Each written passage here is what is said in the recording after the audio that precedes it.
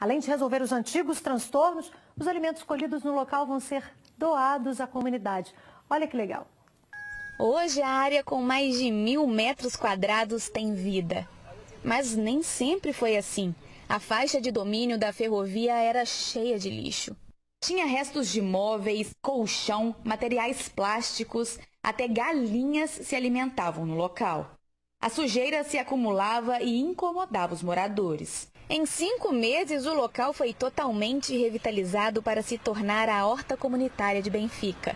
O Zé Maria e o Ari Mateia foram os idealizadores. Eu acho que se todo mundo se unir, né, se unir em torno de um projeto né, que beneficie as próprias pessoas, o meio ambiente, né, ao próprio poder público, né, porque aqui a gente está beneficiando ao meio ambiente principalmente. Né? Uma das coisas mais legais do projeto é que todas essas verduras vão ser doadas para escolas, creches, associações e famílias carentes aqui do bairro Benfica. Está dando certo, estão satisfeitos.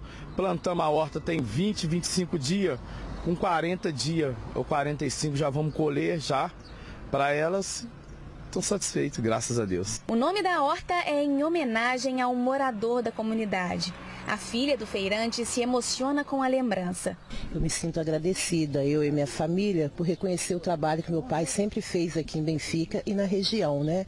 E fazia as campanhas na feira, né, para ajudar o próximo. Ele não pensava nele, pensava nos outros.